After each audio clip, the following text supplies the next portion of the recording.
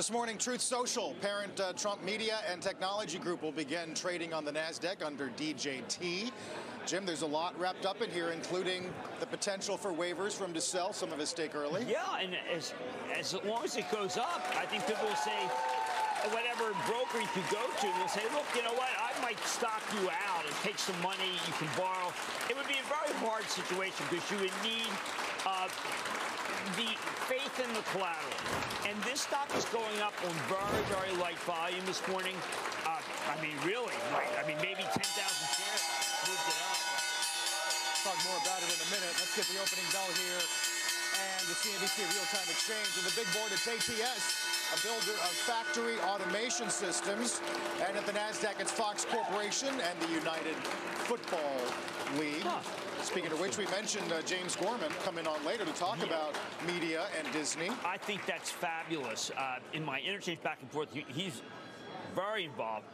Uh, and I think those of us who know him as a very thoughtful exec, he will provide uh, great intel. I don't think Nelson Peltz, who's uh, obviously wants to be on the board, w- would disagree with that. I think that Gorman is someone with tremendous insight about finance, and I think that they need that. Yeah, it'd be a nice uh, duopoly of the media stuff and, of course, legacy banking questions yes, too. Yes, yeah? I do think that uh, the last deal wasn't a great deal. I know Disney hates when I say that, but it, it just was. It cost too much. The, your the point on your point on light volume on DJT is interesting as we see the shares rocket higher here. There's also a lot of attention being paid to the light revenue. You could argue uh, in the last, the first nine months of last year. That's a very polite way to put it. Yeah. I think that they, this is a very expensive stock. Uh, the people who are buying it, I think it's more like it's almost like it's a keepsake uh, that the people who uh, want to support Donald Trump know that as this goes higher, he's able to raise more money. Of course, the amount that he owes was cut back yesterday that he has, that he has yep. to put up. Yep. Uh, so I think this is surprising a lot of people. Uh, you can't borrow it to short it. Uh, it would seem like a natural short uh, because it doesn't have, as you said, a lot of. there's no earnings power. It doesn't even have that much revenue. But I do think that this is something that the higher it goes, the more likely Donald Trump can go to the board, to the board and say, "Listen, guys, you know what? The market wants it. Let's unlock it so I can sell." Now the board is. Some people say it's a captive board. His son's on the board. Sure. But that's what I. If I were President Trump, which by the way I am most certainly not. okay, thanks. Thanks for the clarification. Yes. Uh, if I were king of the forest, I would go in and say to the board, "There, people want stock." Let's un, let's unlock this. Uh, and that's what I would do if I were on the board. I would unlock it. We'll keep a close eye on that name today. Uh, Tesla's up 3% plus, Jim. Isn't that uh, interesting given the fact that Tony Sacconaghi yes. just cut his price target? Goes to 120 and 93 on a discounted free cash, free cash flow basis. Yeah, I said last night that this, if you're going to get involved, you should get involved at this level. You got a new one coming out. Uh, it's not like that that Musk is standing still. He's not a person standing still.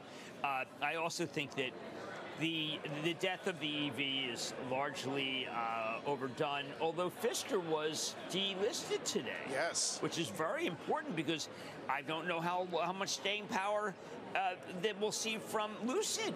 I think Lucid is one that I visited them, and I just don't think that they have the sales that uh, that can keep them open. Rivian has a lot of sales, and that's very important. Although uh, yesterday, Mizuho cut Rivian, cut NIO. yeah, big piece in the Times about how EVs got politicized by yeah. both administrations in the last couple of years. It, it did. I do think that in the end, to quote Larry Fink, we are going to have to cut back on emissions, but we also have to accept the fact that fossil fuels here to stay for now. So we need a pragmatic energy policy, meaning that we're not we shouldn't just jam EVs down people's throat. We don't have the infrastructure yet. I think that that's one of the, the biggest fears is infrastructure. I remember what Steve Scherr said in, in his departure at, at Hertz, which is that these aren't loved. Right. They're tried and not loved. Really quick, as we continue that conversation, uh, DJT paused briefly here for volatility. We'll watch it. Speaking of cars, Jim, uh, the CFO of GM on with Phil LeBeau last hour, saying they're on track for 200 to 300,000 EVs this year. Look, this stock has been on fire. If you look at what Mary Barra has done here, this is one of the strongest charts in the book, and it still sells for less than six times earnings. So Mary Barra, by the way, is on the Disney board. Mary Barra's done such a great job. Does she get talked about? No. Should she be in the conversation of, of a broader market? Look at that. That's a broader, that is not a chart of Alphabet. That's a chart of GM. And it's been a huge winner. Doesn't really have much of a dividend. I just think that she, uh, that Mary Barra pivoted very quickly, uh, made some changes with EV, made some changes, uh, of, of, course, with self-driving uh, and the problems in San Francisco. But she is, she seems to have the cars and trucks people want. Now, uh, Jim Farley, Ford's going to speak. My Charitable Trust owns Ford. It's not been as good as GM. It's time for Jim Farley to tell a great story. And the great story, by the way, is are the F-150s and the Bronco. Maybe he'll do it. Maybe you know it's not bad, but it's not. I hate Jim Farley, close your ears. It's not what Barra's delivering. Mm. This wow. is all happening at the B of A Auto Summit. We'll also hear from Lear uh, today, along with GM and Ford. Um, speaking of analysts and conferences, UPS, Jim, with some fresh three-year targets. Well, I, I, think we want Carol Tomé to do better. We wanted duopoly. This, at one point, the stock was up five. It's given things back. I think that Raj Subramaniam has got to be uh, uh, uh, saluted here because he was able to do what some every so many people want to do, which is take a lot of different unwieldy division silos, like think about Disney silos, and uh, just put them together And the stock is straight up. This again, FedEx is what I'm talking about, the broader market. How when you look at what Raj has done, he is a superman. He has just done remarkable things. Look at that. Don't yeah. you want to be in that? That, by the way, is not Amazon. So that's the broadening you're talking about. And it's remarkable and terrific, and we got to celebrate it, not just because Larry Fink made me feel guilty that I'm not doing enough to talk about how cool the markets are. I want to embrace the capital markets. So you embrace FedEx. Who doesn't know FedEx? What I mean, talk about like you go to a younger person, you say, um, "What do you think of FedEx?" They say, "Well, you know, it's really expensive. I don't use it." No, go buy some. Raj is remarkable. I mean, go over that call. I mean, do you know that the revenues there are awful. They're flat to down. And he made so much money. And when the revenues turn up, he will make a fortune. I want that stock for my Charitable Trust, and I just haven't been able to pull the trigger. Cal Tomé, it's a little more challenged. They they took 70% of the business that UPS lost to FedEx because of the possible strike. Yes. They kept at FedEx. That's a remarkable figure that heretofore has not been talked about. Yeah, they definitely pounced when things were uh, uncertain. They really did. Yeah. They really did. There's a lot of things that are working. We haven't talked about Boeing yet. You know, people keep talking about Larry Culp. I think Larry, can we let him finish the job, please? Get Vernova there. I mean, he was quoted extensively. I wanted to tell Larry, hey, Larry, listen, the more you talk about it, the more people think you're going there. Yes. And, and I just think that he's finally got GE where he can just relax and make a lot of money. Don't charge. Just memo to Larry, will you please take it easy? You're a national treasure. Don't take on some job that's so big. A lot of headlines is, is Culp ready for his next challenge? Yeah, Although Stifel does say that it's like more likely now that they go for an outsider. Uh, as, whereas before, maybe Stephanie Pope was being teed up. A lot of people are saying that that, that Pope is tainted uh, and that if you really want to know how to get out of the situation, you pick someone from way, way out of the field. Uh, that's why Larry was mentioned so often. Maybe you need. I remember when I did the uh, my show at the Air Force Academy.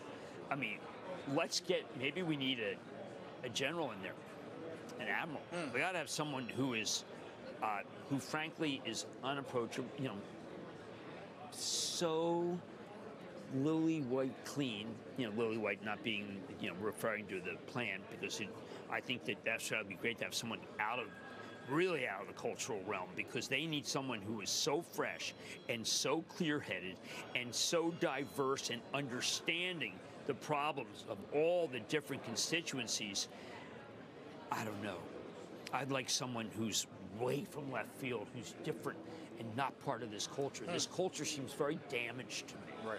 Let's get someone who's fresh and different and tough. Interesting. By the way, you see the resumption of trade on DJT there, now up some 34%. Jim, in, in terms of us. Uh, wow. I mean, look at this, will you? What's that? No, the DJT, I mean, if I were Donald Trump, even it's just, now it's 8 million shares. This is the moment where you say that you have an obligation to release more shares and I've got shares that I'd like to release. Yep. And that's the board can do that. The board can say no, but the board, I think, if I'm not sure where Mr. Trump's head is, But this is a moment where, where he could very easily say, look, uh, the stock's up 286%. No one would mind if I sold stock, so please let me do it. Now, he may say, I don't need to um, because he's prideful, but I don't know. I think that anybody, no one would begrudge him if he went to the board and say, "Look, I'd like to be have some stock released." Well, there was a nice piece in the FT this yesterday about the ratio of insider selling to buying. I mean, it's fairly bearish, you could argue, but It hasn't is. stopped some of these names from powering higher. Meta's a good example. Well, I just think if you had you, you own stock in one of these mega caps and you're not selling, that it's almost like from the point of view of, of estate planning, you're being very foolish. I, I, any one of these people should be selling. Uh, but when I look at, they all have such faith. I mean, they just have faith in their companies, but they should be selling some because the movement in the mega caps versus everything else i- is so extraordinary that it's a good time to be able to raise some money. Right. People aren't going to, you know, you raise money when you can when you can sell, when the stocks are really screaming. Don't raise money when the stocks are going down. Right. Uh, Microsoft, speaking of which, Oh, uh, gets up to 500 uh, from Dan- 475 Dan at Wedbush. But he's talking about what he calls a transformational co-pilot monetization. Well, Microsoft was very much in evidence uh, last week at the GTC conference for uh, NVIDIA. They have a lot going. Uh, I also think that it's interesting that the new PC that's AI is being branded a Microsoft PC, not an HP, not a Dell, but a Microsoft. And they're going to be able to put a button on with such a good AI. I was on this morning, I was on ChatGPT, and I, I do prefer Claude three because Claude, which is uh, Anthropic, which has got four million, it's, there's a lot of money. It's four billion that Amazon. Yep. Anthropic is much more conversational. ChatGPT is much more stilted. Uh, I always like if you hit if you hit me up in Claude Claude three, it's hysterical. Really, it's interesting that we're beginning to parse different products now. Claude 3 is dynamite. Now remember, if you can read Moby Dick in less than a second, Yes. uh, you can know that if you do Claude 3, Claude 3 is the one that's ado- adopting the Blackwell, I think, faster than anyone, which is this new supercomputer uh, that's converse. It's much more conversational, which I think is really going to make it so people just say, you know what, I'd rather talk to this is the existential threat of Google, which I think the Justice Department start, should start realizing. I'd rather go to Claude 3 and have an intelligent conversation, as I did this morning. I tried to find out more about the MasterCard Visa Yep, interchange. I'd rather have a conversation with Claude 3 than I would have a search query with Google. So you're using it with that kind of frequency. Oh, yeah, you got to use it. Like, for example, what, what question would you pose on, on MasterCard I, I Visa? posed is uh, on the Mastercard Visa. I posed that uh, is this the case that's been kicking around since 2005, and explain to me what the uh, the consequences could be.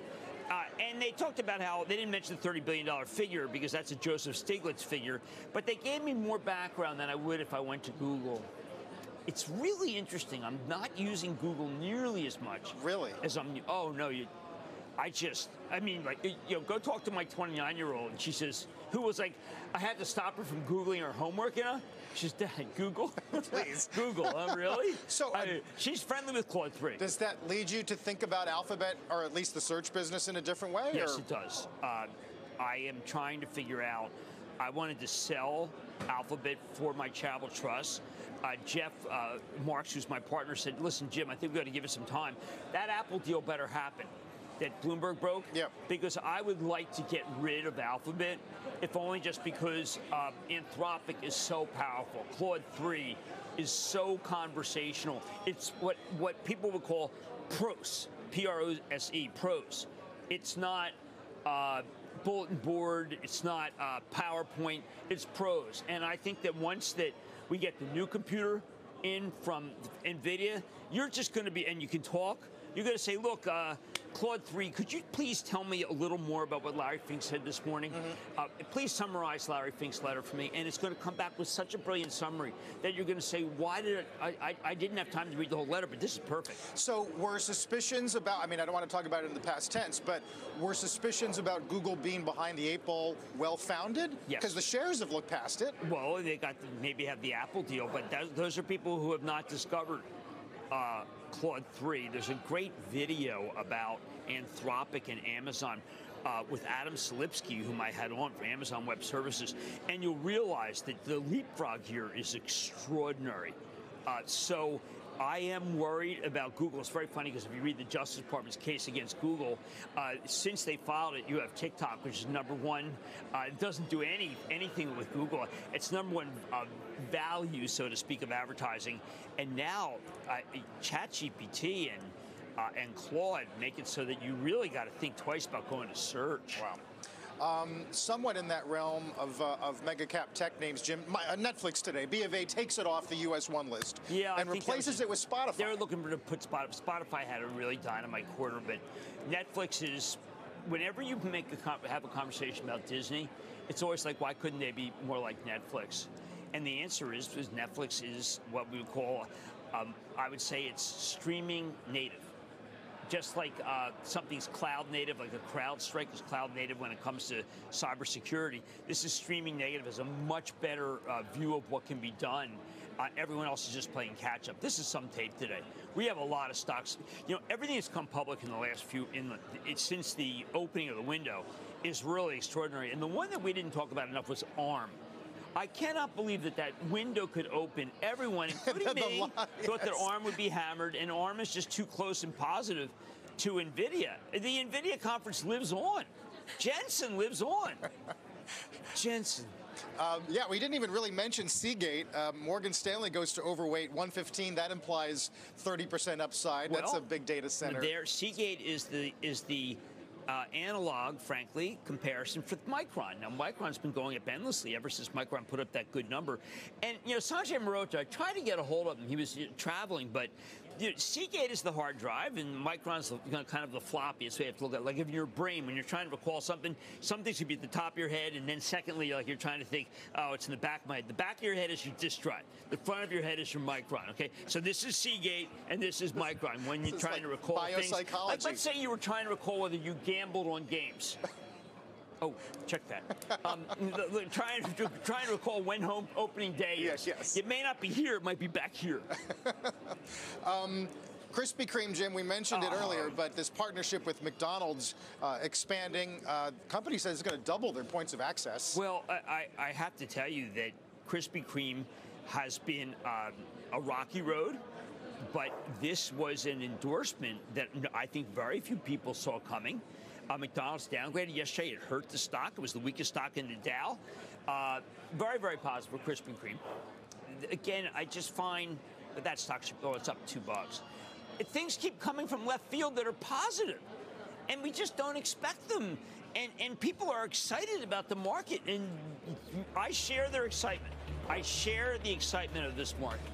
And and you notice what we're not talking about much today: rate cuts, Fed speak. What is that? Eco data. Enough already with that. Do you think the younger people want to hear that? The younger people want to discover how to make money. And they're looking well, they're looking on Reddit for how to make money. Well, stop looking on Reddit and start buying on Reddit. Look at this Reddit. They priced that my Steve Huffman, who is not necessarily saluted by a lot of Redditors because he's got the ads all over yep. the place. I thought he did so great on your show. He was a champion champion for making money. Good for him. Yeah, it's after so many interviews about are you going to go public? Are you going to go public? Finally being able to I say. I thought we wore him down, and yeah. he didn't. He still had to go. He still had it going. Take a look at Reddit and its short public life. Meantime, uh, Jim's right. Market hanging in there, 52.30. Every sector green except for energy, slightly red. And then we'll watch bonds today. There's some data. We got durables. Uh, we got Philly Fed down 18. That was the worst since last spring. Coming up in about 12 minutes, conference board, Richmond Fed as well. Be right back.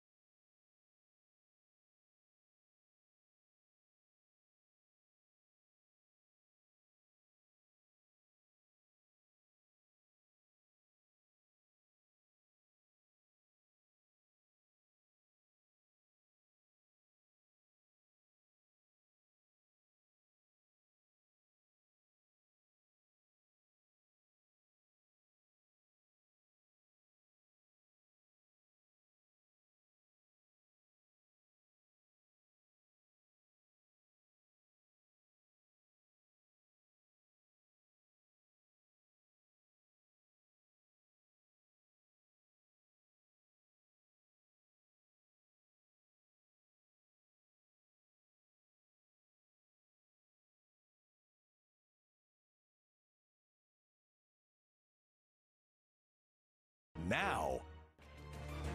Coming up in the next hour, an exclusive with Morgan Stanley's chairman and Disney board member James Gorman. We'll talk about what he has to say about the Magic Kingdom's proxy fight against Nelson Peltz. First, though, Stop Trading with Jim's coming up after the break.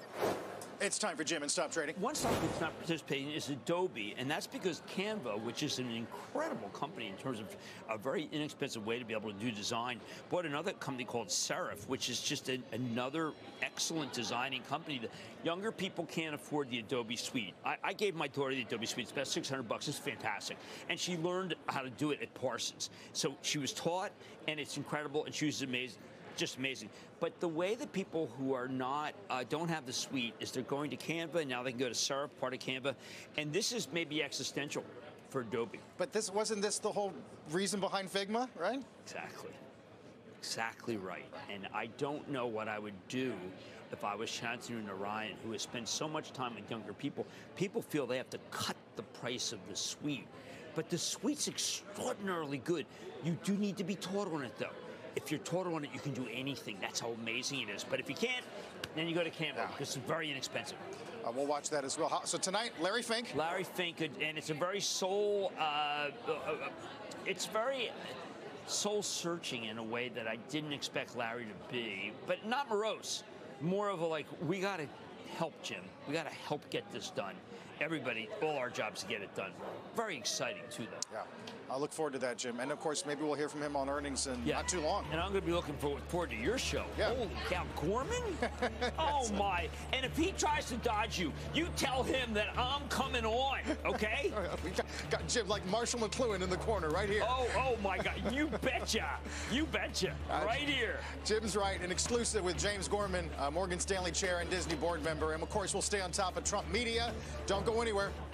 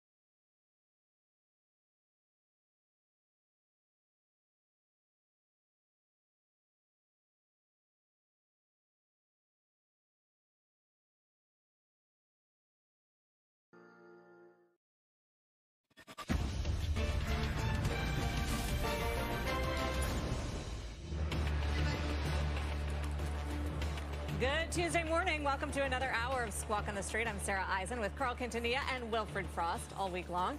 We're live at Post 9 of the New York Stock Exchange. David has the morning off. Take a look at stocks this morning. A little bit of strength in the early action. The S&P up about a third of 1%. The Dow is unchanged. Remember, this is the last week of the quarter, and it certainly has been another strong one for stocks. So you might see some action on rebalancing and the like.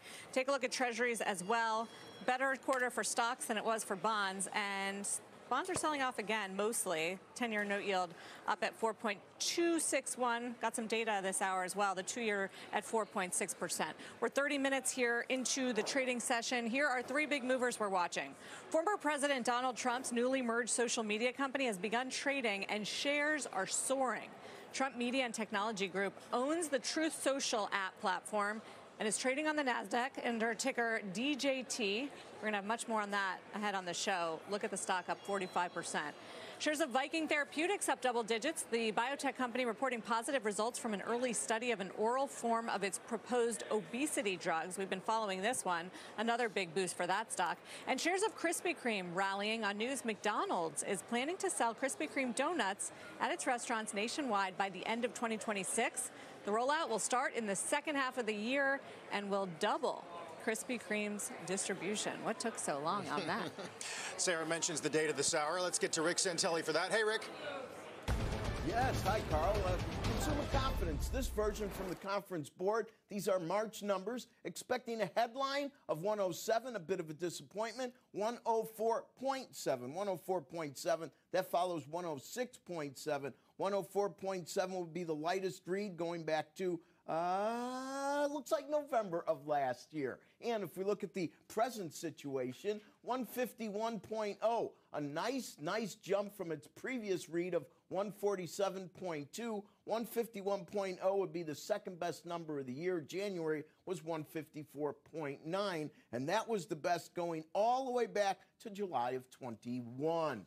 Expectations, what may lie ahead. 73.8, but in the rearview mirror, 79.8. So 73.8 is the lightest going back to May of last year.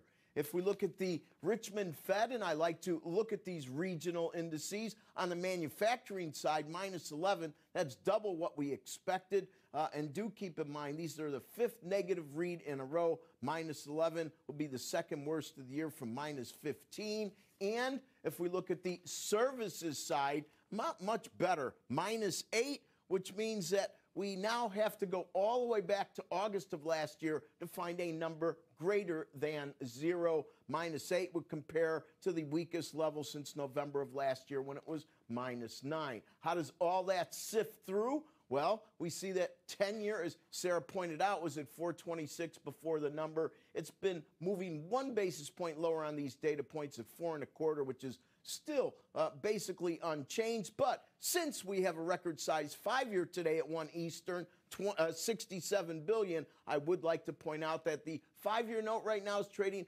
4.24%. That's up one basis point. Sarah, back to you right, thank you. We'll watch the auction. Look for you on results. Rick Santelli. And just on the consumer, Rick just noted the, the miss on consumer confidence. We're wondering where the consumer is as we go through the rest of the year and how strong the consumer remains. We did get some good color from McCormick, the spice maker, which reported today stocks up, profit better. Again, volumes down, pricing is helping. And here's what the CEO is saying about the consumer. Consumers remain challenged. Two years of steep inflation has had an impact, and many are exhibiting value-seeking behavior.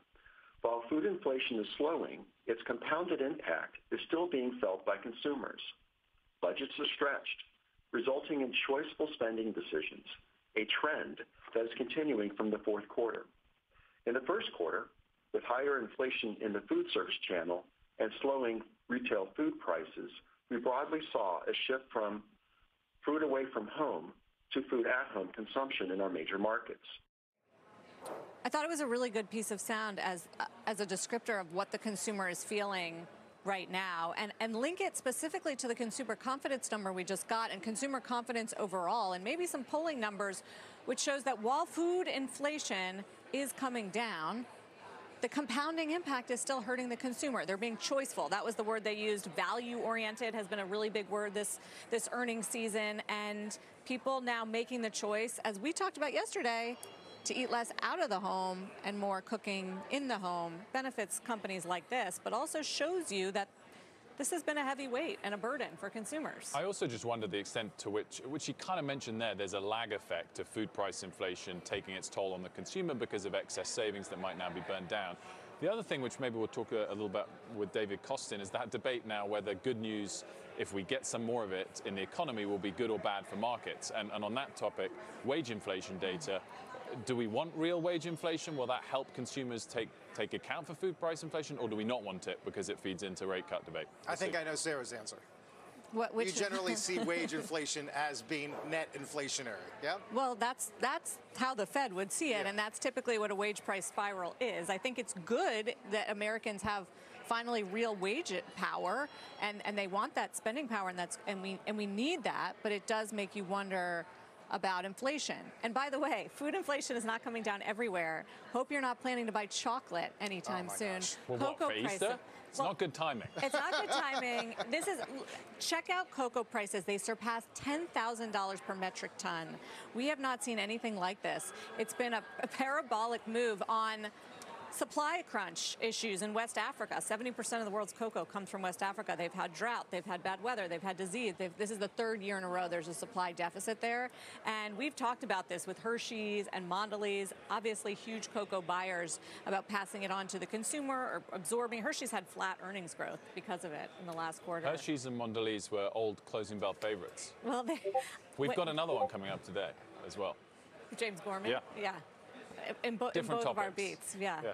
Although it'd be funny if we threw a cocoa question at him. He could probably answer it. Yeah. yeah. James, what? Well, what, I also wonder whether he'll be a bit freer as well now. I mean, I guess he's still chairman of Morgan Stanley, but uh, I, I, know we're mainly focusing on the, on the Disney stuff. But uh, anyway, lots lots always to ask. No, it'll be a good reunion for you too. Yeah. I'm ex- I'm excited for that.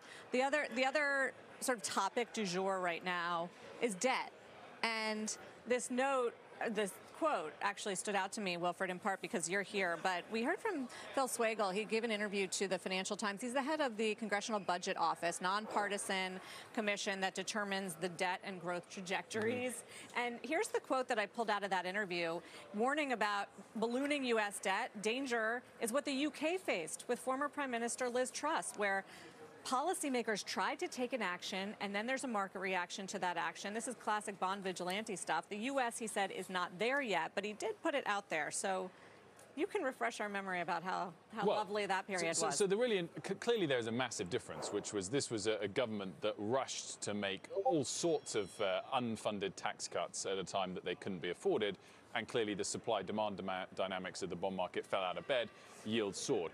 That's not what we're talking about potentially here in the US. It's just a steady, slow increase of supply as opposed to a government action to suddenly cut taxes. But it is a really interesting question over the next two or three years, and this is the statistic that stands out for me. So debt to GDP here uh, is 120%, roughly speaking. In the UK, it's a bit lower at 100%, and both countries obviously look great compared to Japan and over 200%. But over the next three years, in the US, 38% of the debt stock is coming up for renewal. It's, it's a huge percentage, and it's one of the few metrics the UK actually looks quite good at, or about half of that. Uh, Germany's worse at 43%. France and Japan in between at about 30%. And that's the big question. There's a lot of supply coming on, yields are elevated. Um, will there be a enough demand? M- more of a steady move towards uh, supply and demand imbalance as opposed to all of a sudden as it was with the Liz Truss episode? But I think that is the big remaining question as to whether this extraordinary outperformance of the US economy uh, relative to the developed world over the last couple of years will, will continue. It's just hard for any politician to prioritize or do anything when there's no urgency coming from the markets, and there's not. The demand, the demand for the latest auctions have been very strong.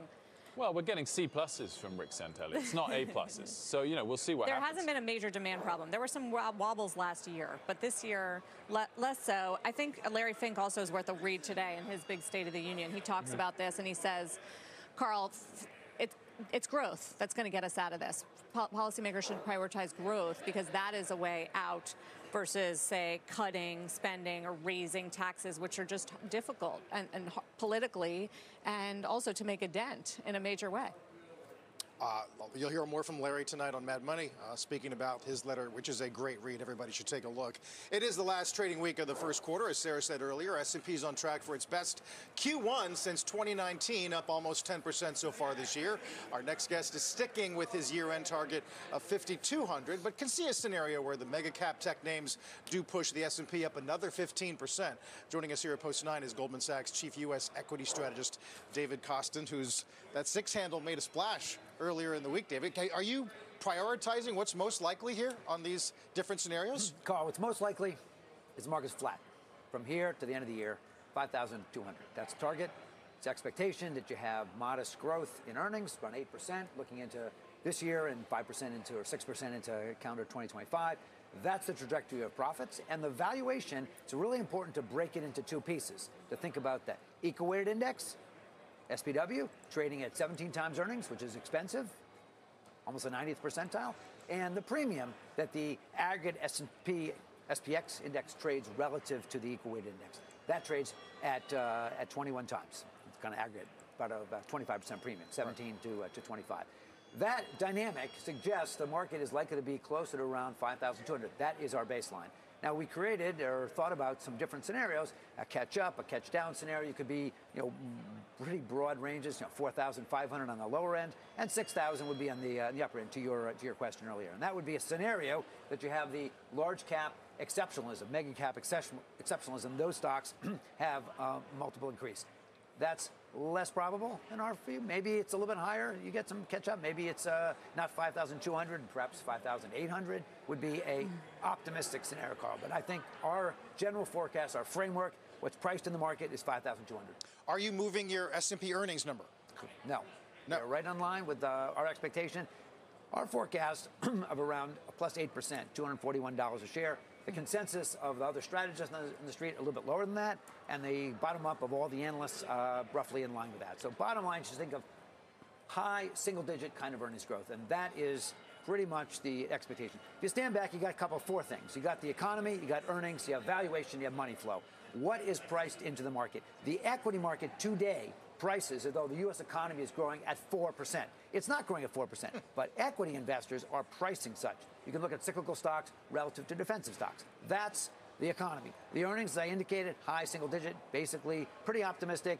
Margins a little bit higher, sales growing. Basically, that's a positive scenario in the backdrop. Valuations high, as we just talked about, not the highest, but it's pretty extended. And the money flow. Where's the money flow coming? It's coming from corporate repurchases. It's coming from households putting a little more, more money into equities. There's net selling on the part of pension funds, on mutual funds. Uh, th- those are the, the stories. Do you so that's a, the framework. David, do you have a direct negative correlation between uh, where interest rates are, the Fed fund rates, and your S&P target? If we get more cuts, does your target increase, or actually we learned in the last couple of years that where the Fed funds rate isn't the key factor? Well, Alfred, it's an, it's an excellent point because when the market was pricing you know, was three cuts was priced into the market sort of last uh, fall, and then it kind of moved all the way to six cuts again, forward market pricing. The smaller cap stocks rallied dramatically, and that's this idea of the equal weighted index, if you will, having a catch up. So to the extent that there is more cuts than is currently expected right now, that would be a positive for a broadening of the market. To the extent that there are fewer cuts, Goldman Sachs economists expect three, forward market pricing roughly around that level. If it was two, then that would be more supportive of larger cap, better balance sheets, more, you know, the, the mega cap stocks continuing to do better. So that's kind of how I think about your question. So I was going to say, uh, inflation is going to be a key question mark, right? I know you're not necessarily forecasting. Jan's been in the soft landing camp, but if we continue to get firmer inflation readings and that changes the Fed's trajectory, then do you revisit your S&P target? Well, the expectation right now is that the Fed is giving the dots, and uh, Goldman economists are looking for basically three cuts one in June, one in September, one in December, and that would be consistent again with our forecast around 5,200. All of this information is priced into the market today, which is a good thing. It's not not terrible. You're just, taking the year off, there. David. Well, it's the end of the first quarter, so we still have uh, you know, we, we still have another nine months to go. But yeah, the market's moved 25% last year. It's up 10% this year, and that's uh, that's a lot of good news has been priced in today. There are obviously some scenarios that one could uh, think about for for the coming year, but broadly, our assumptions are we're priced there for today. Uh, it's a good way to think about where we are. Look forward to touching base as we get earnings rolling in too in a couple of weeks. Okay. Good to see you, David. Thank you. Thank you, David Kostin. We've got lots more still to come here on Squawk on the Street. Uh, after the break, we'll head live to Baltimore for the very latest on that major bridge collapse following a ship collision. Tesla's been cutting prices in some markets in the face of fierce competition from rivals. Elon Musk now taking some steps to jumpstart sales, but it could slow down the delivery process. And a big exclusive coming up with Morgan Stanley chairman and new Disney board member James Gorman. He spoke to us late last year before he joined Disney about the face off with Nelson Peltz. Remember this? I've had a lot of battles in my life. That doesn't bother me one little bit. We're going to talk to Gorman about Disney's proxy battle with Peltz and what comes next. Squawk on the Street will be right back. Don't go anywhere.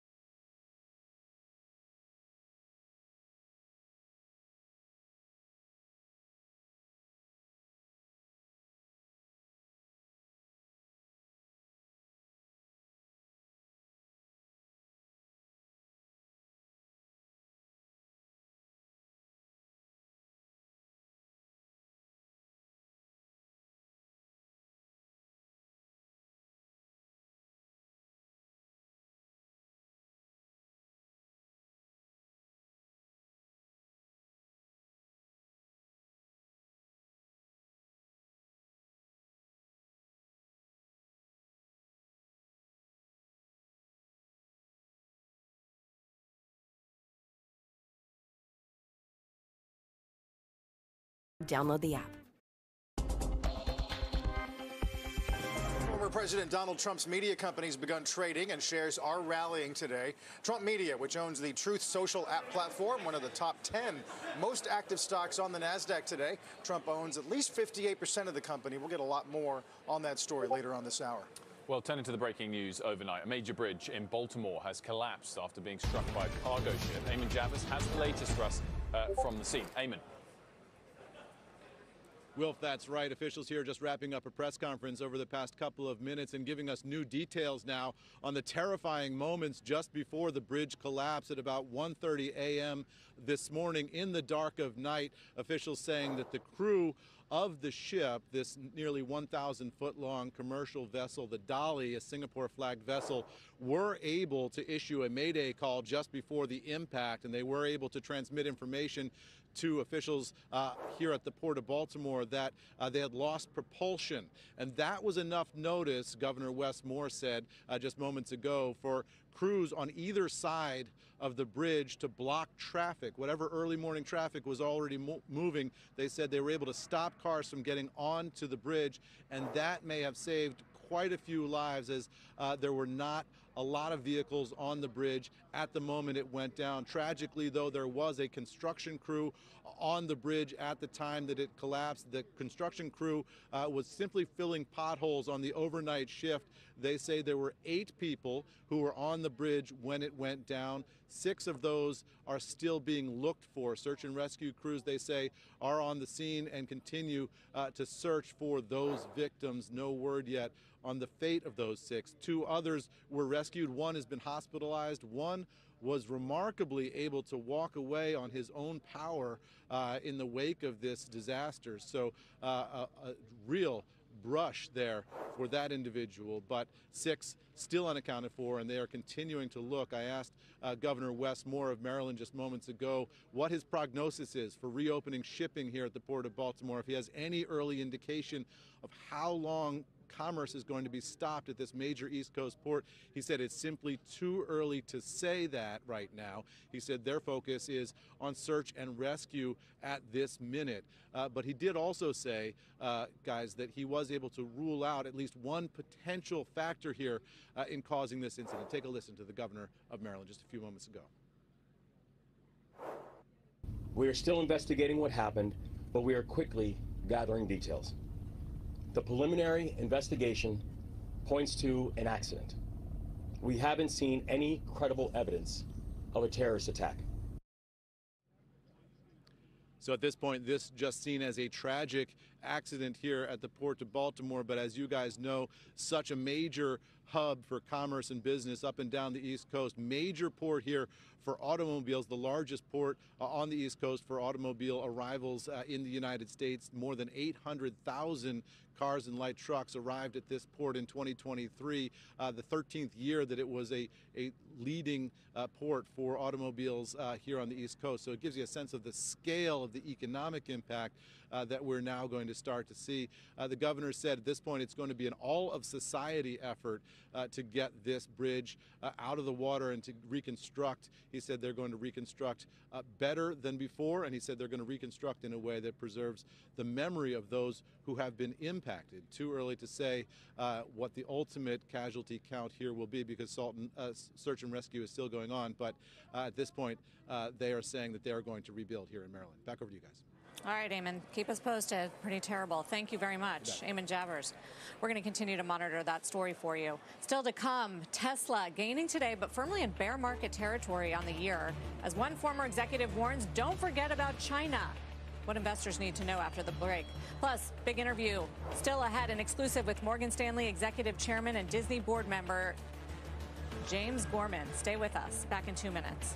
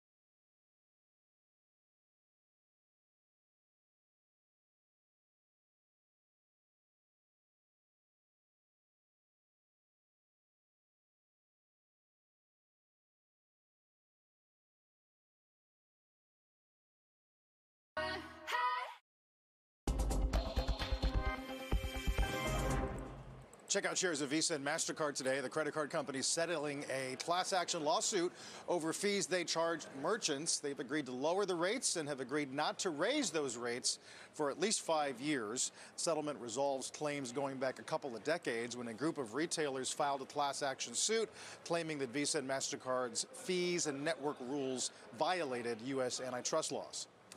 Tesla higher today despite Wall Street losing its drive for EVs. The company now offering US customers a month free trial of its uh, driver assist technology.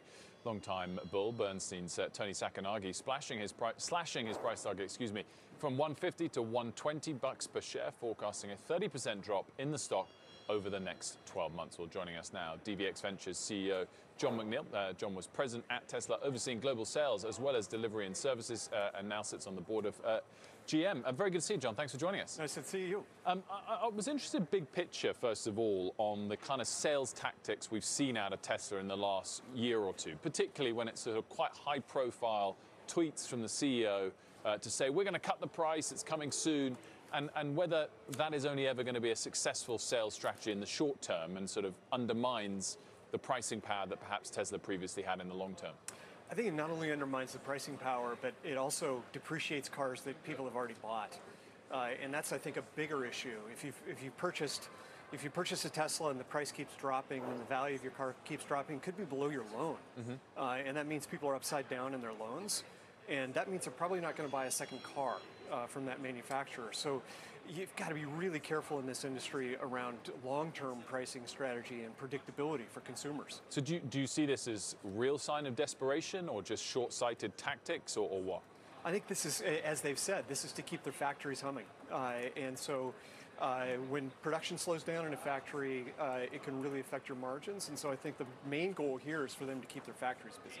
Um, what is the biggest source of competition now for Tesla, but, but more broadly the US automakers, but the US EV parts of the automakers? Is it is it the Chinese players?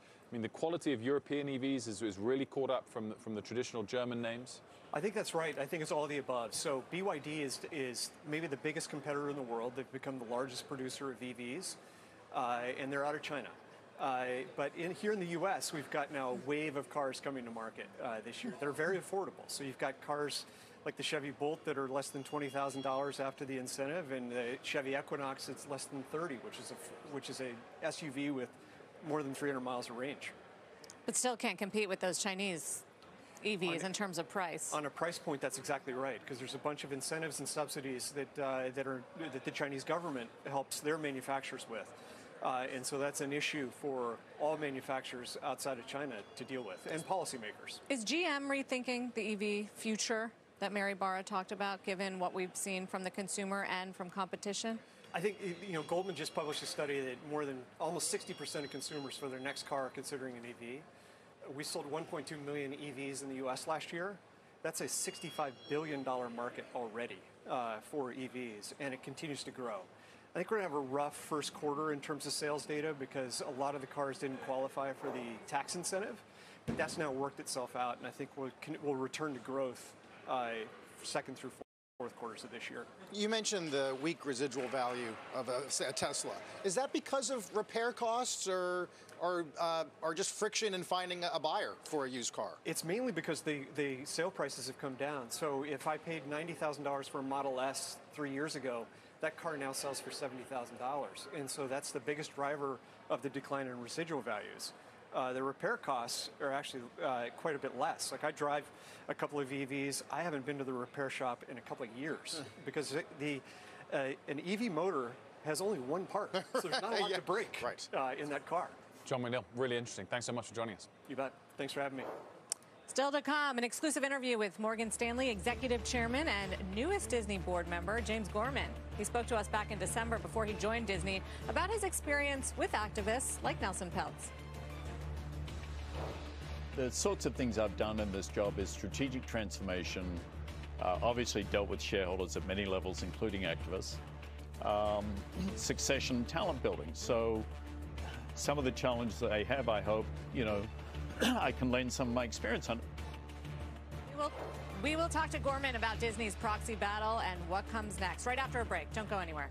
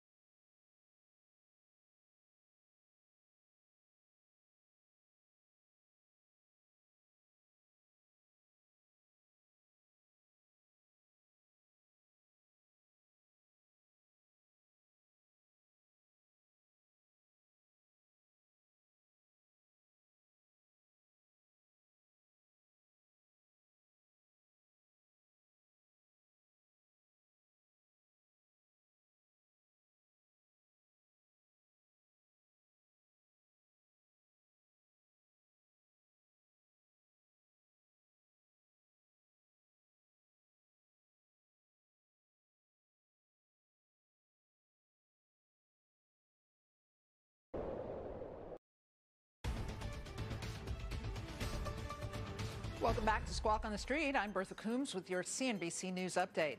The Supreme Court is hearing a challenge this morning to the Food and Drug Administration's decisions to increase access to the abortion drug mifepristone. A Texas based district judge invalidated some of the FDA's actions from 2016 onward, which include making it available by mail and extending the window in which it can be used from seven to 10 weeks. Wall Street Journal reporter Evan Gershkovich will have to spend at least three more months in detention in Russia. A judge ordered him to be held until June on espionage charges that his publication and the U.S. government strongly deny. Friday will mark one year since Gershkovich's arrest. Russian President Vladimir Putin has signaled that he may be open to a prisoner exchange for the journalist. And WikiLeaks founder Julian Assange's extradition to the United States has been delayed. A London court gave the U.S. three weeks to provide assurances around Assange's First Amendment rights, including that he would not receive the death penalty if convicted. If that does not happen, he can appeal extradition in May. Sarah, back over to you. Okay, Bertha, thank you. We are nearly a week away here from Disney's annual meeting where Nelson Peltz, Trian, is fighting for two seats on the Disney board. Proxy advisory firm ISS siding with Peltz with a focus on the company's failed succession planning, saying, in part, quote, the question for shareholders is not whether the CEO should be replaced, but whether the board, having failed to properly oversee the last succession process, is capable of avoiding the same mistakes. Joining us now with some perspective is Morgan Stanley, Executive Chairman and newest Disney board member, James Gorman. Welcome back, James. Good to see you. Hey, Sarah. I thought I retired from this stuff. you're, you're as relevant as ever here uh, on the Disney board. Why are you guys fighting Trian so hard against joining the board?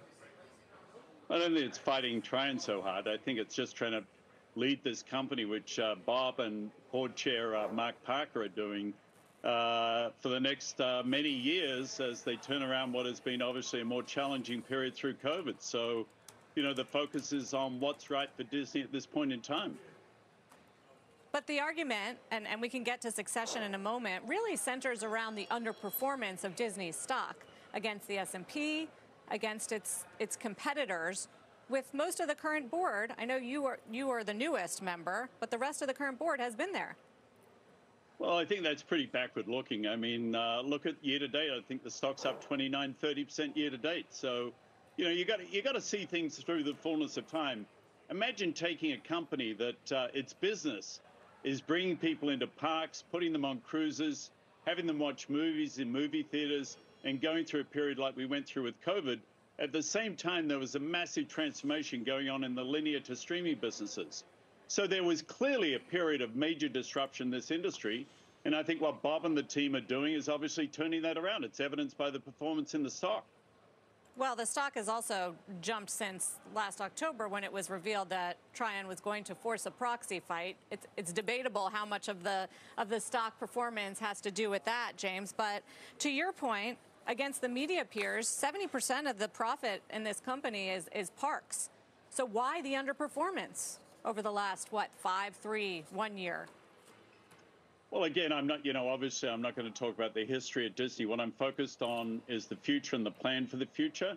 And if you look at it, I think what Bob is doing with the focus on uh, the creative side and particularly um, uh, quality over volume, uh, what he's done for uh, shareholders. I mean, the dividend was increased 50% last year, and there's a new buyback in place uh, what he's done in the transformation that's taking place at ESPN and the multi-year, multi-decade investment that's been put forward for parks and cruises. You know, it's incredibly exciting the future. So I think a lot of this fight seems to be looking backwards. I'm more interested in why I joined the board is looking forwards. Well, looking forward, they still have to deal with the succession issue, and that has been oh. One of the strongest cases for change because this board didn't get it right. ISS says the importance of executing a successful succession plan, particularly for a company of this complexity, and the board's prior failure to properly oversee this process suggests some level of change at the board level is warranted. Yeah, and Glass Lewis said exactly the opposite. Uh, you know, you you got to take the, these are judgment calls based on the facts, and you know, when I joined the board, the thing I was focused on was that they had a rigorous succession process. Uh, there's a new board chair as of last year, Mark Parker, obviously a phenomenal uh, executive in his own right at Nike. Uh, he's chair of the succession committee. That committee had met, I think, 17 days after I joined the board, and uh, it's due to meet another eight or nine times this year.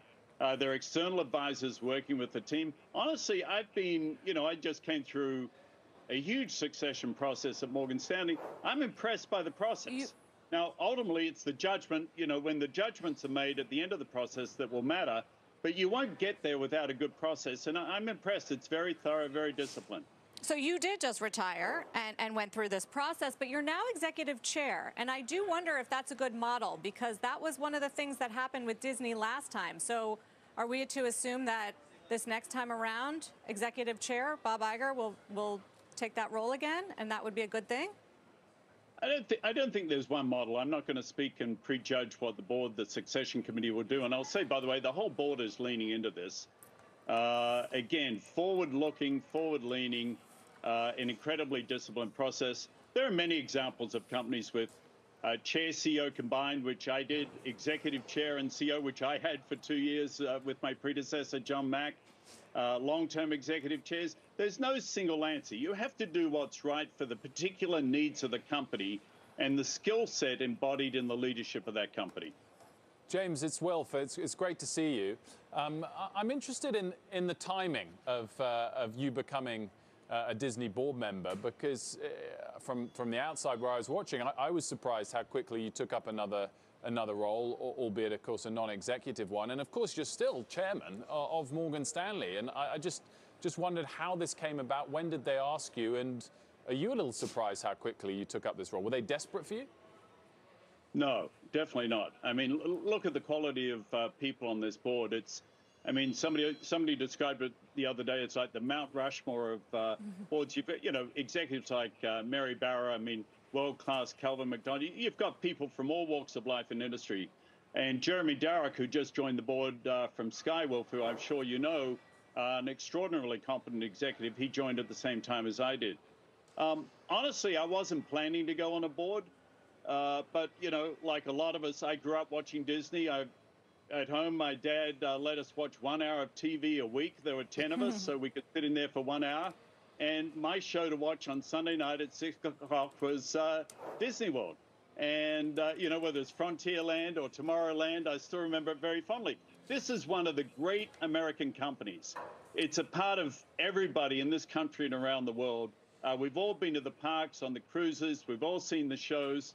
And I just thought it was an incredibly exciting thing to contribute to this board. And frankly, Bob Iger, you know, uh, Bob Iger has to go down as one of the greatest media executives in history. There's just no question about that if you look at what he's done. And look at what he's done in the last year uh, since mm-hmm. he's really got into stride here, coming back and turning this thing around. So, no, it's an honor and a privilege. I didn't expect it. I was honored they called, and I'll do my best to contribute. Well, you're, definitely not going to get me uh, saying a bad word about Jeremy Darroch, uh, James, whilst, whilst, we're chatting about this. Um, I, am interested. I went back and watched the interview you gave to, to Leslie Picker the day you announced that you were going to be transitioning yourself. And on succession planning, you said, I'm really into having plans, being intentional about this stuff. Uh, you went on to say uh, that you wanted to do it and execute it in an elegant way. And I think uh, everyone uh, who knows the, the banking industry thinks you, you did execute that pretty, pretty successfully. Um, when you said that to Leslie, you said it with a, a wry and quite big smile on your face. And I just wonder whether you were having a, a little bit of a swipe at some of your banking rivals. Do, do you think that Jamie Dimon and uh, Brian Moynihan are holding on to power a little too long? No, I don't. You know, I don't. I don't judge others. I don't do strategy for envy, and I don't judge other executives. And I, I said on that show that Jamie may be the best banking executive, uh, you know, that's been around. So no, everybody has to do their own thing. Um, I honestly did not expect to stay as long as I did in the job. I wasn't planning to, but along came this nasty little virus called COVID, which, by the way, I just mm. had for my third time the other day. Uh, and it gets better as you go on, is my experience anyway. Uh, but, you know, it, it's um, no, I focus on what's right for the institutions I'm involved with. I was very focused and continue to be on what's right for Morgan Stanley, and we had a great succession process. I'll just say Ted Pick, by the way, uh, has been pitch perfect since he started. He's done a spectacular job in the first few months, and and I think the whole firm has rallied. Um, uh, I'm very excited. I'm standing in a new office. You can't see the rest of it. It's full of boxes. Uh, but that's what happens when you mm-hmm. step out of the CEO role. So uh, I'm thrilled for Ted. I'm thrilled for our company. And now I just want to contribute in other ways. Um, I'll be chair here probably through the end of this year, no longer, uh, for sure. And, um, you know, the, the company's in great shape. So I want to contribute in other ways. And, and again, you know, Disney was part of my childhood. It's part of American mm-hmm. culture. Uh, it deserves, it deserves, um, it deserves the best. It doesn't deserve acrimony. It deserves to move forward with the kinds of investments that Bob and the team have put in place. Well, you might not be surprised to know that Trian has a statement uh, about your appearance today. They they believe, James, that Mr. Gorman is a welcome addition to the board. But Trian says this proxy contest is not about your credentials. The Disney board needs a shareholder mindset. And they go on to talk about how candidates Nelson Peltz and Jay Rasulo would represent owners inside the boardroom and urge the board to finally do its job, overseeing the company's strategy, capital allocation, reviewing management's uh, execution of the plan, planning CEO succession, and aligning compensation with shareholder value. Why not have a shareholder activist on that board? I'm not going to get into uh, the whys and wherefores, and obviously I've known the folks at Trian for a long time. Um, the question is what's right for Disney at this point in time? And clearly, there's a, you know, there have been tensions out there. I'll just put that politely. Um, you know, there's enormous momentum. If you've got a capital plan uh, to invest $60 billion over 10 years, if you're dealing with the transformation that's going on in the linear to streaming, you've got these extraordinary assets like ESPN uh, that are being reformulated, repurposed, if you will, for the next decade. There is an enormous amount going on, and having a cohesive board working together, but independently. Remember, we're independent yeah. directors. That's very important. Have you engaged working at all? together, but independently is critical. Have you engaged at all with either Peltz or Rasulo? No, that's not that's not my job. I'm I'm I'm I'm one of 12 directors, and uh, I'm you know I'm just happy to contribute. Listen, what we're trying to do is find what's the best balance for shareholders at this point in time? The momentum we're under uh, versus other choices, and that's for shareholders to figure out. I'm not going to tell people what they do. They have to. They're being offered uh, different choices, mm-hmm. and they have to exercise what's in the best shareholders' interest. But mm-hmm. independence directors is to protect the best interests of shareholders, and I joined this board for exactly that purpose. James, a, very quick final macro question, uh, if it's okay. And we were discussing this earlier, right. the sort of prospect of uh, of the US debt supply coming online in the next couple of years, um, hurting market sentiment. Do you think there is a significant risk of de- de- dislocation in the US Treasury market as supply comes on? I, I mean, Wilf, I thought I was I thought I was out of that banking world. Um, You're still chairman. You know, not, You're still not chairman. really. I'm all, I'm more focused on what the Fed's going to do this year, and I'll give you my two cents for what it's worth. I think I would not be surprised if they don't move uh, in the first half of this uh, I would be surprised if they move in the first half of this year. I would not be totally shocked if they don't do anything for the rest of the year. Um, I know the market's pricing now three rate increases versus six a couple of months ago. You know, the Fed has to ask what's what's the benefit. Um, and at the moment, the economy remains robust, as you're seeing. The S&P is what over 5,200. The jobs numbers are great. So that's that's that's the only that's the only economic uh, thing. I'm, I'm not going to forecast mm. doom and gloom for America. The people who've done that um, uh, have generally been unsuccessful in my experience. Well, we we always appreciate your market calls, James. I remember talking to you in the middle of the COVID crisis when you thought the stock market had bottomed, and that turned out to be a good one. James Gorman, thank you very much for taking the time today. Thanks, James. Sure. Good luck, guys. Thank you. Executive Chairman of Morgan Stanley and a board member of Disney, by the way, on the succession committee. Meantime, a big windfall for former President Trump as shares of his social media company surge in their first day of trade post SPAC merger. Details on that after the break.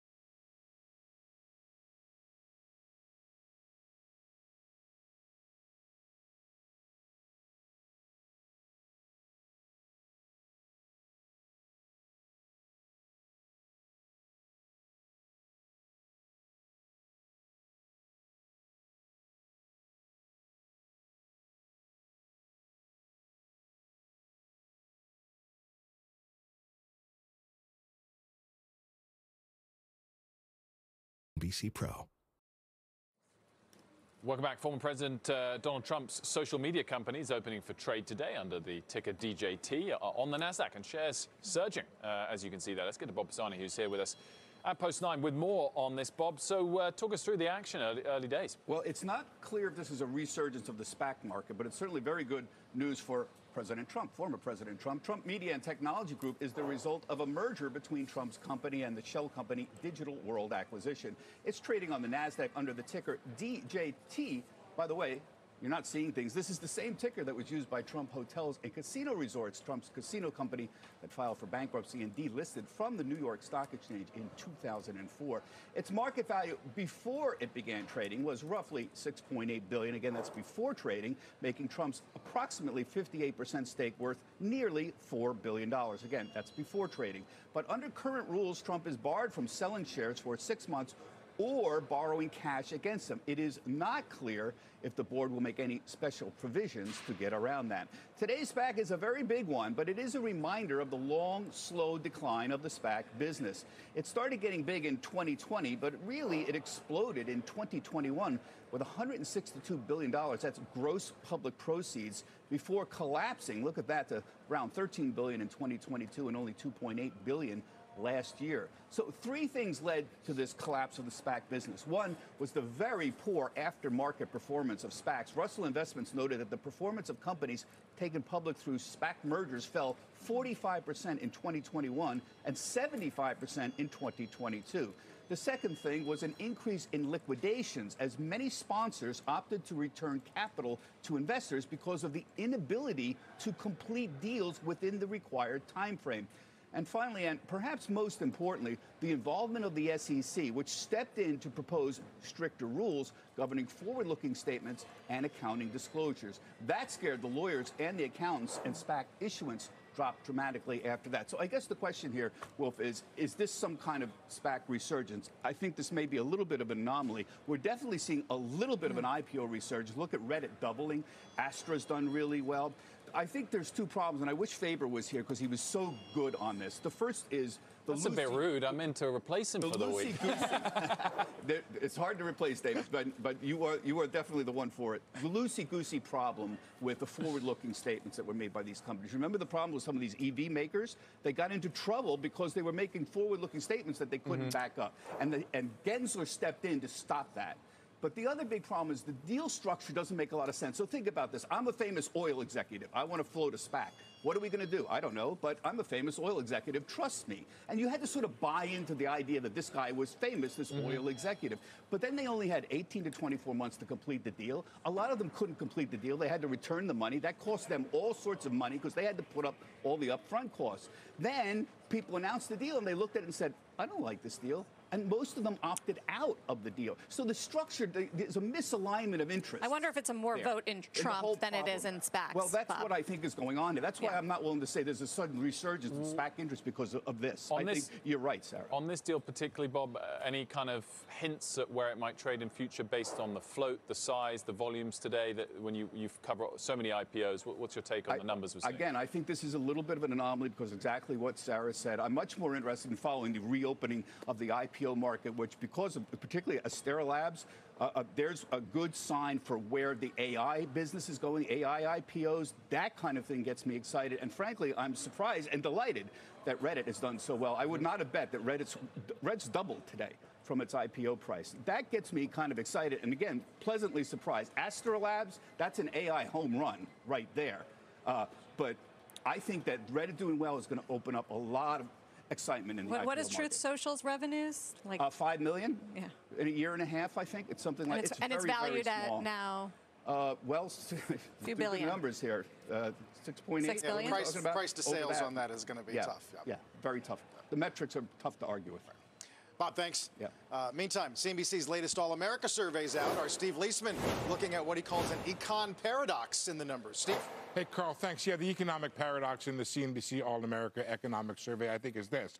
A plurality of Americans believe they're going to be better off if Donald Trump wins the presidency, yet many of the personal financial measures we track on a routine basis show pretty good improvement in some cases back to the pre-pandemic level. Take a look here.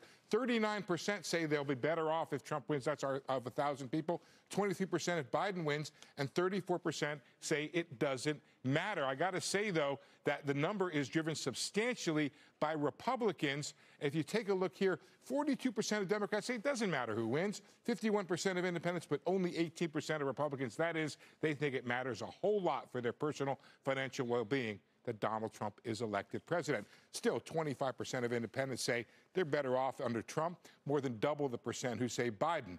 All this, however, comes with some improvement in key economic measures. A net 33% say their home values will increase. That's the highest in two years. 37% say it's a good time to invest in stocks. That's the highest in three years. 37% expect their wages to increase. That's about average over the course of the poll.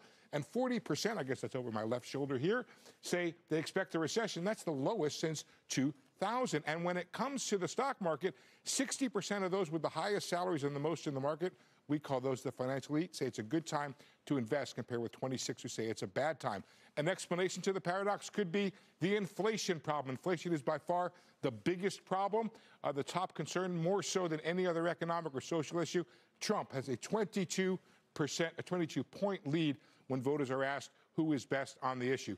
Biden has a, a lead when it comes to health care, Trump on the middle class, and immigration, uh, Trump by 30 points. So we'll just leave it there, Carl. Um, I would say that it's a horse race out there. The uh, track is a little muddy underneath Biden when it comes to economic issues, but it's a little firmer. Trump, however, remains in the lead on economic issues. Carl? Yeah, pretty interesting, Steve, to see how that matches up with some of the older, other polls uh, today. Steve Liesman, thanks. Meantime, next hour, a whole lot more on the future of autos and EVs as the biggest auto show in the country kicks off here in New York City. We've got the CEO of Hyundai Global and the CEO of Mercedes Benz when Money Movers begins after this.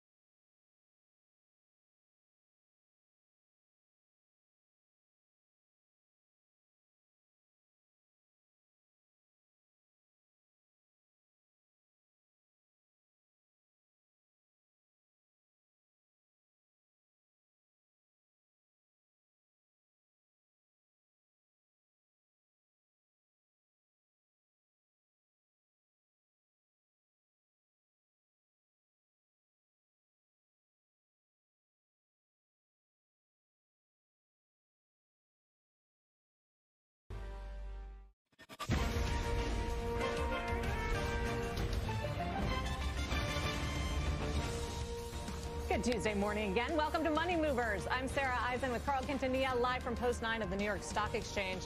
Hyundai's global COO and Chief of North America joins us in just a moment, warning of slowing growth in 2024 and some macro uncertainty.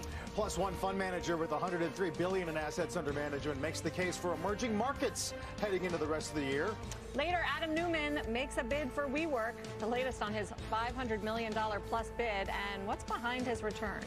Meantime, watching stocks with some modest gains today. 52.33 is maybe 10 points shy of an all-time closing high. We'll keep an eye on that as we await uh, more corporate and eco data later on in the week. Major averages continue their march higher. S&P on pace for the best first quarter, as you know, since 2019. Is there anything that can break that market claim? Let's bring in CNBC senior markets commentator Mike Santoli. Mike, a lot of comments on how seasonality this year has surprised some as well.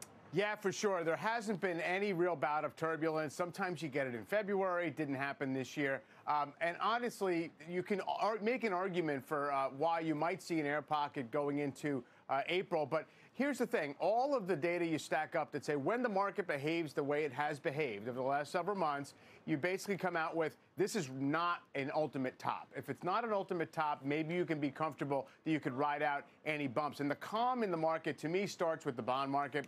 It's been very low volatility, it's been very secure, a consensus that there's not a lot of macro flux. The soft no landing uh, scenario seems to have very, very tight embrace by everybody. So, what could break the calm is exactly something that disturbs that outlook. A um, little bit of a ragged consumer confidence number in the internals in terms of people saying their own personal fin- uh, finances, present condition, not looking so great. I don't put a lot of uh, weight on those things, but it sort of shows you you have parts of the market and the economy that look like there might be getting some fatigue, not enough to, to really uh, upend anything out there. I feel like something usually comes along when the market is overbought and overloved, as it has been right mm. now. We just have to wait for what that is. How about what James Gorman just told us, former yeah. CEO and executive chairman of Morgan Stanley? I wouldn't be surprised, he said, to see the Fed not do any rate cuts this year because the economy is in such good shape.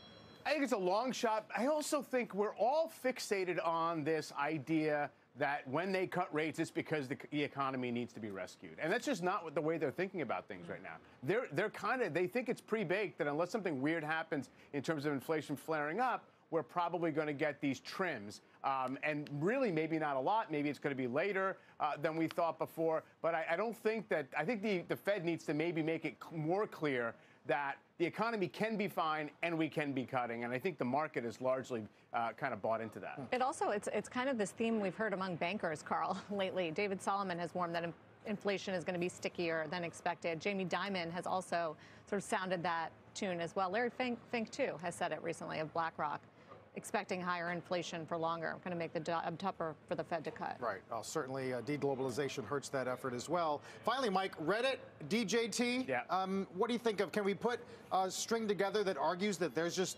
extreme enthusiasm in pockets of the market? Yeah, I think you can. I think that when there is, you know, macro calm and everything seems secure and the rally's been rolling for five months, uh, people play. And I think that there's a lot of playing and there's a lot of channeling of uh, enthusiasm in idiosyncratic ways. Obviously, crypto got there first. And so I think that's kind of uh, led the way for a lot of this type of activity. Uh, it's not back to where it was, let's say, three plus years ago, but it, it definitely is percolating. Mike, we'll talk in a little bit. Thanks. Uh, Mike Santoli. As the major indices uh, keep hovering around these all time highs, our next guest says history suggests the year to date rally is poised to continue. He maintains his overweight positioning on equities in the U.S. more broadly. Joining us here at Post 9, Phil Camporeale is a portfolio manager for multi asset solutions at JP Morgan Asset Management.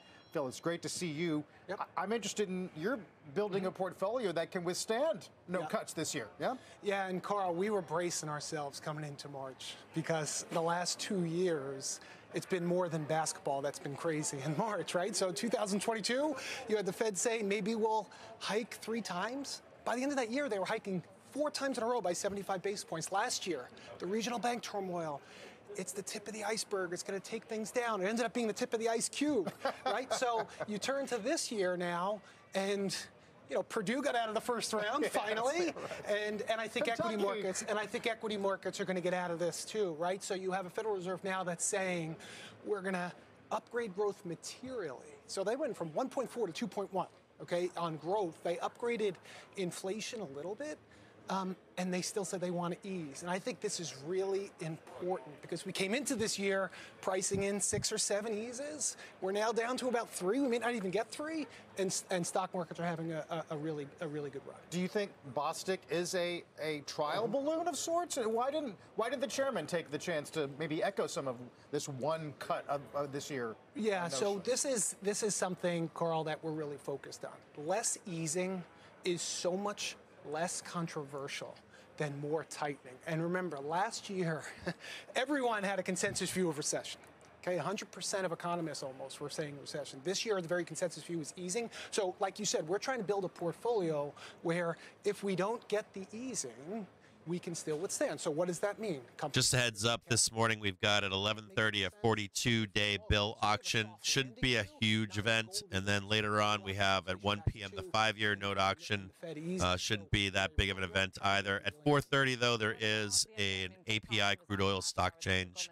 Saying it's all priced in, all that good news, and the market's going to do nothing for the rest of the year. What what do you see that's not priced in yet? So the earnings story isn't quite priced in. So multiples maybe, right? So even when we were coming into this year, Sarah, and we were saying the S&P 493 has room to run, right? The, those 490 stocks are trading at 20 times right now, or 19 and a half times. So I think it's the earnings story, and there's really important secular drivers behind this view. So population growth, the CBO is estimating 1% immigration. That might not sound by a lot. That's the most since 1910 if we get 1% immigration. The productivity story around AI, we'll see. That's more to come over the next few years. But the other two big secular themes, the 7% deficit, that's a lot of fiscal spend, and a $7 trillion Fed balance sheet. Before COVID, it was at four, it got to eight, and they're probably going to stop around 7 trillion. Sarah, these are all drivers of what we think is really good, real GDP growth that is going to drive the earnings story. This year, next year? I mean, you're So talking this- about big, yeah. long-term themes here. Yes, but those some of those drivers, including population growth, that's this year's story of a one So you think estimates are going higher? Yeah, so we think estimates are going higher, and then that allows the market to continue to, to, to move. So this above trend growth story, the Fed just upgraded it last week. People are catching up to that now, and I think the growth story is going to continue to stay. Well, we just had this discussion as well with with Kostin about S&P earnings, right? Mhm. What's consensus? 240 and change. mhm. Some have gone to 250. Are you Yep. that aggressive? Yeah, so we're at about a 10% earnings growth forecast for this year. Yeah, and last year was negative one. Why? Because the S&P 493 that was so worried about rates, recession, inflation, were held back. So this year, I think there's going to be more of a share from those companies, Carl, and those Mag 7 don't need to do as much of the heavy lift. Do you think it was that fear of macro weakness that led to efficiency gains, headcount reductions, investments in the computer stack? That's right, and that's the lean story coming into this year where they don't need to, to worry about that. But I, I'd be remiss if I didn't mention, Carl, uh, the, the non-U.S. story, so the Japan story. I've never talked to you guys about an all-time high in the Japanese stock market, right? That was 34 years ago, and I've never talked to you guys about the Bank of Japan raising rates. Like this is a normalization process. Japanese people just got their highest wage increase in 30 years. These is, these are really important drivers that I think can broaden out the story from just picking the mega cap stock. Not too late on that trade? Not too late, Sarah. So I, we think that this has more room, more room to run. And- Japan. yeah, Japan, and even in places like Europe, some of these secular themes like obesity drugs and the AI story. It's not just in the U.S. You can go find that outside of the U.S. as well. India is another one that people Yeah. into those sort of structural, strong stories right now. Right. So they jump off the page over the next 10 to 12 years. So hopefully I can be back here in a decade talking about. India. Uh, but we're not we're not focusing on EM as much today. We like to develop non-U.S. story. Good stuff, Phil. Thanks for seeing you. Uh, Phil Camporeale. Thanks, Phil. We are continuing to follow the bridge collapse in Baltimore after a cargo ship hit the structure early this morning. Our Eamon Javers is there with the latest. Eamon. Yeah, Sarah, the scene here is just stunning and shocking at the port of Baltimore. Take a look at the scene right now. The situation is that this vessel, the Dali, a nearly 1,000 foot long container ship, is still wedged under where the bridge was. You can look at that vessel there and you see containers piled on top of it, about six or seven cargo containers high. And there you see the bridge, uh, now a bridge to nowhere, uh, and the wreckage of the bridge uh, span itself in the water, tilted to the left from our vantage point. And uh, what you're looking at is a major span for commuters in the state of Maryland around the Baltimore area. Uh, more than 30,000 commuters uh, every day crossing that span. Now we'll have nowhere to go. And you look at the containers on that vessel, and that just sort of epitomizes the commerce that comes in and out of this port. Just an enormous port for vessels, more than uh, for uh, automobiles, I should say. More than 800,000 automobiles arrived at this port uh, in 2023. Gives you a sense of check one. Hold on one second here. Economic impact we're going to be looking at. I asked the governor.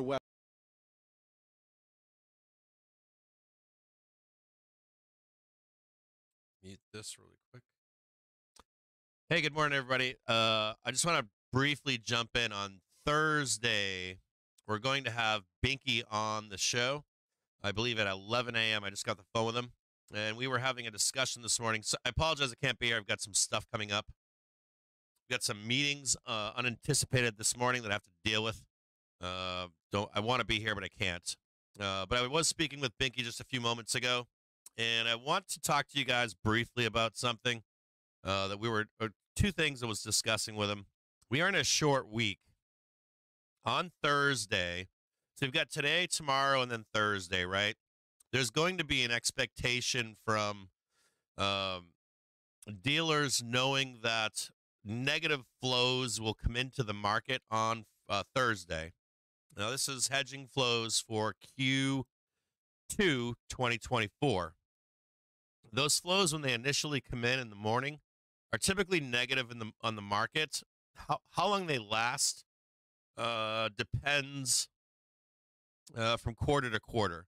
They I've seen I've seen those flows impact the market negatively for one two hours, all the way up to the entire day. Now between now and then, uh, we've got a short amount of time before we get there. We have uh, one more day. We got today and then tomorrow. Uh, so the expectation, at least from my side, or what I my thesis here is that um, dealers will run this market up into Thursday or Wednesday close, knowing full well that uh, hedging flows are coming in on Thursday. I think I get this right because uh, I keep wanting to say Friday, of course. If I say Friday, just bear with me. You get the gist, right? It's Thursday. But, anyways, these negative flows are going to come in on Thursday. Now, I have to do some research on this but I was I've discussed it in the market brief here and there, but I haven't done the research. Uh, JPM yesterday, GS, all these other banks coming. Uh, like we first we got the bond boys over the weekend, then we got the banks coming in on the on Monday, uh, and then of course even Financial Juice yesterday was piling on with this thesis trying to change sentiment, uh, which is not an easy thing to do right now, right? Uh, sentiment is a big part of the marketplace. Uh, and there was a there was a movement over the weekend to change market sentiment, and there was a further move on Monday from banks to change market sentiment as well. So we're heading into uh, the end of Q1, and um, there's like, hey, we want to make make a material change to sentiment out there. Now, whether that's true or not, they can or cannot change market sentiment. You see the development of puts to the downside They've been growing over uh, since we, they showed themselves on Monday morning. Uh, and then, of course, this morning there's a little bit more development of puts. Uh, there's some fear out there, whether you know it or not. Uh, now, what I have to look at that I haven't looked at yet is uh, with the collar. Now, if that collar comes out, uh, when that collar comes out, uh, let's say the strikes are higher. Let's say your top strike is 5,500 uh, so you like 5,500, 5,300, and 5,000 or 4,900, let's say. 4,900, let's say. Uh, 5,300 and 5,500. The, the market should bounce back on Friday. Whatever negativity, negativity comes into the market, uh, the market should bounce back towards end of day. Now, I know that there have been times in the past when the collar comes out wherever current price is and if that top strike is lower uh, than uh, current market price, we may have uh, an issue because then you've got uh, you've got the uh, like the banks putting their money where their mouth is on sentiment, not just uh, talking. Right? they talk all the time in public, and we know they get run over all the time. Not only that, we know that vol control f- firms are long. We know CTAs are long. Uh, they follow trend, right? Uh, and we we know that everybody's long. We know that more money's coming into the market as well as more flows coming into the market uh, that counter any of the flows leaving the market as well. Uh, so there's just a point here where uh, we we really do want to monitor Friday um, and monitor. I think this particular collar is going to matter in terms of sentiment, like putting your money where your mouth is. Uh, and if the, but if the collar strikes are higher, no matter what they're saying to you, you know that the reaction from or sentiment wise, if the, if the collars are higher, you're gonna be like, well, we're calling you your bullshit. You even see us going up, right? You see the collar is the top. If the top strike is lower than current price in the market, that can uh, shift sentiment, even if it's just in the short term, to the downside. Uh, so we'll monitor, I'm going to look into it and try to find some previous collars that came out that the strikes were lower than the price of the market. I think the last one was maybe Q3 or Q4 of uh, 2021. I could be wrong on that, but I think that might have been the last one. I mean, there were. I, I mean, I don't mean like um, the collar coming lower in the bear market of 2022, but I mean when the market's going up, like we're we're going up and the collar, the top strike comes in lower, is what I mean. Uh, so I'll look at that for Thursday for you, uh, and so look forward to Binky being on Thursday, roughly around 11 a.m. for that. Uh, I'll be back with you guys shortly. I got I got to go right back into something right now. Uh, if anything else changes today, I'll let you know. Uh, but I am still bullish here. Uh, we are now above the hourly trigger. We're back tested it. We're just grinding higher and higher and higher. Uh, I'm expecting at some point that we're going to keep moving higher. You guys know if we uh, if we reject the hourly trigger, that's bad, right? It's pretty simple. Try to simplify things for you. As long as we stay above it, we're good to go. Uh, we haven't rejected the hourly trigger at all, and we're climbing. We're hugging it, and we're climbing higher and higher and higher. The expectation here is that we will continue to go higher, uh, knowing that Friday, uh, the morning uh, should be the morning should be kind of a kind of a negative day. And then there's something else about uh, the day before end of month. I'm not. I'll look into it, but I think that we usually blast off the day before end of month. But I, I'll check.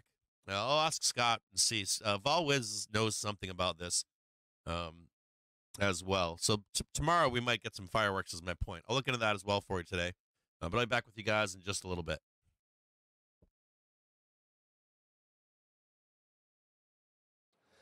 The pace of growth, but in our case, we double sales of EV last year uh, this year, we are selling about double what the industry is selling in terms, in terms of growth. And if you uh, combine it with the plug-in hybrids, even, more. So things are going well for us. Uh, as mentioned, uh, we have become uh, number two in uh, sales of EV. We're global third OEM as a group. And then we are about to start producing EVs in Savannah, Georgia, starting in October this year, three months ahead of schedule. Is that because of the Inflation Reduction Act? Well, uh, that's one of the reasons, not the only one, uh, but definitely uh, we are uh, waiting for uh, the uh, October sales to help us qualify. So far, our vehicles don't qualify, other than during the in the in the lease segment, and then well, hopefully, once we start producing locally, we'll be able to uh, get the full qualification, $7,500, which we're planning to pass on to the customers. There's been a lot of, uh, among the analyst community, mea culpas saying we underestimated the role that hybrids would play as a bridge to this new adoption cycle. You, can you talk about how, where you see hybrids fitting in right now? Well, definitely, I think um, the way we see it, uh, we see a very clear path to electrification right? And then what we see is that a, a number of customers, they're jumping right into it. Others, they are hearing about it, but they uh, prefer to go into maybe plug-in hybrid or hybrid. And this is why in our case, uh, we are saying we want to be flexible. We want to offer all type of um, uh, motorizations. And in, for example, our most popular Tucson that we're launching a new facelift tomorrow in the New York show, we're launching it with ICE version, hybrid, uh, and also plug-in hybrid. But again, we see the, the biggest growth on EV. So uh, I think the only thing that is happening in the market is that it's taking a little bit longer, the adoption, but there is definitely an EV uh, adoption in the market. But you don't, you don't see any risk of consumers staying with hybrids and saying that's good enough for me? Well, I think when you look at it uh, from a long-term perspective, uh, EVs are really better for the environment. They have better Hey, uh, Trader Podcast, I did just uh, respond to you in Discord, brother. technology, for example, for uh, Am uh, okay, good. You know, if you have these type of uh, EV platforms, you can deploy much better all other uh, technologies. So I don't think hybrid is going to be the only solution. And then again, we see more growth uh, still on, on EVs. So uh, we continue to bet on both uh, EVs, hybrids, plug-in hybrids, ICE, and hydrogen in our case. But so what is it? Just the infrastructure not being there? That The infrastructure- embracing it? That's right, Sarah. I think the infrastructure is a key uh, success factor, right? So uh, actually, in our